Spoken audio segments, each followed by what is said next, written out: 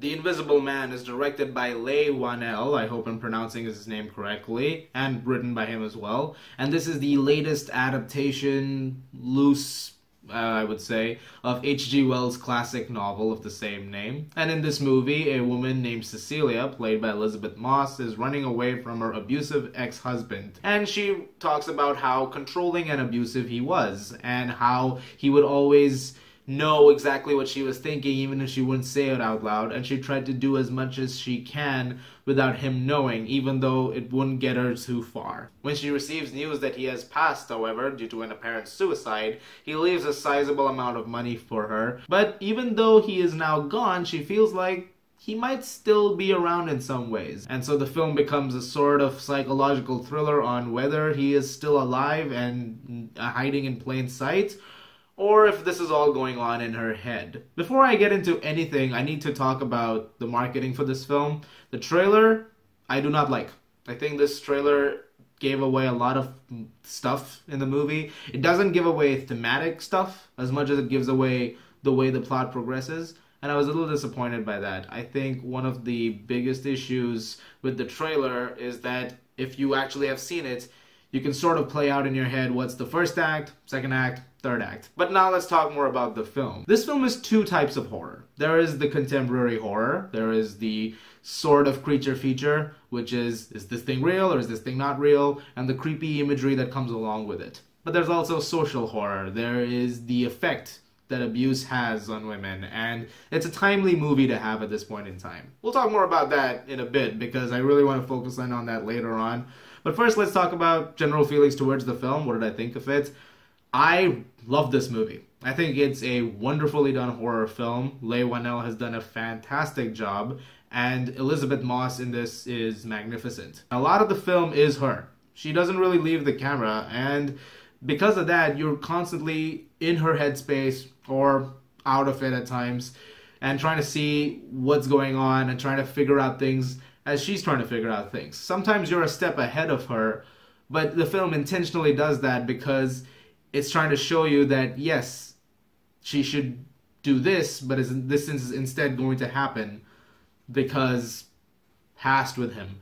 And I think that film the, the film handled that in a very smart way. It's actually quite rare. I haven't seen a lot of films do it like this before.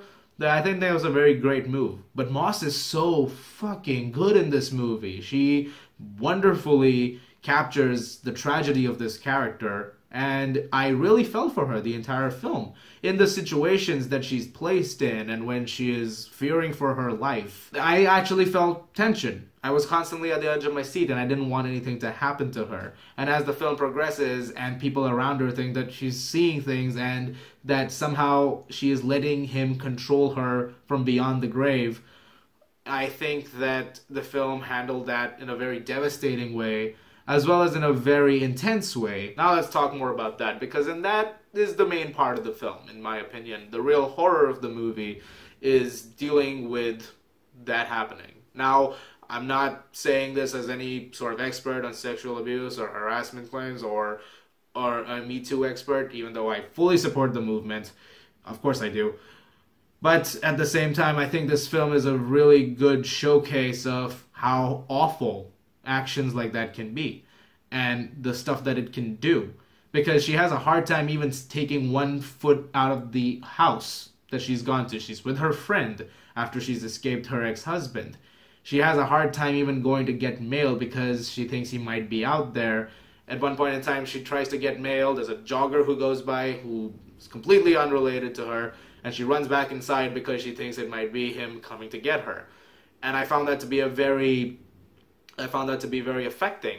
The film is very thematically rich in that regard to exploring the subject, and it makes it, like I said, very timely. I mentioned Harvey Weinstein's conviction a couple of days ago, and I, I, I mean, it's coincidentally that this film is coming out around when that just happened.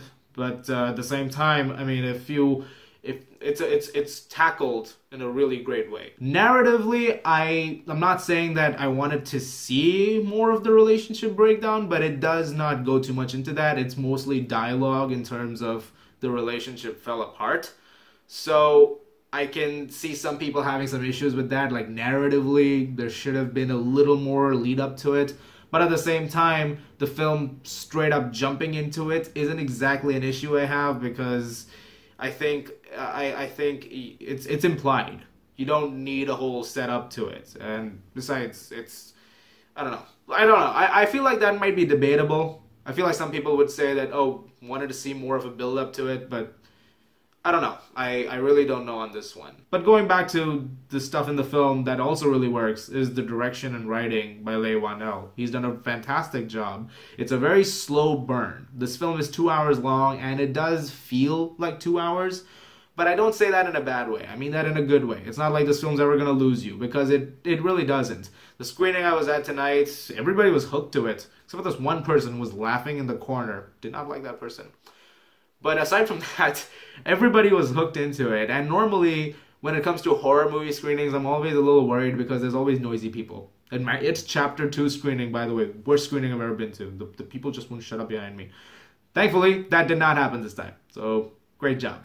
Uh, thank you, audience. The film is also magnificently shot. Gorgeous cinematography. Editing also really, really great and really strong. But the sound mixing, the score, is really something I really liked because there's a lot of sequences where it's very silent and there's a score or lack thereof throughout it, and you're just following Moss as she's going from one part of this house to another, and it's wonderfully executed. And I think the film excels at that really, really well. Filmmaking, all the aspects of it, I would say this film really, really nails that. I do have one mm, issue with the film though, but I can't talk about it.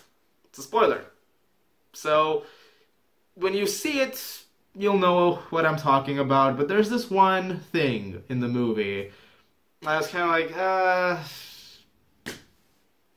you, you didn't need that. You didn't really have to do that. Um, it was on enough it was on and off for me. But and I knew it was gonna play a big a big role later on, but it just was like, all right. I mean, hmm.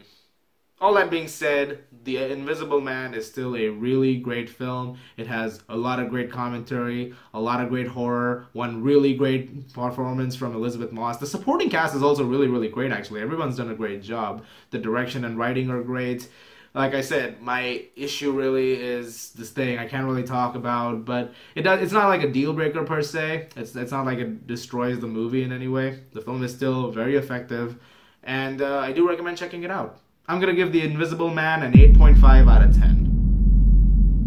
Thank you very much for watching, guys. Look forward to more reviews very soon. As always, if you like this, please do subscribe. I'll see you guys in the movies.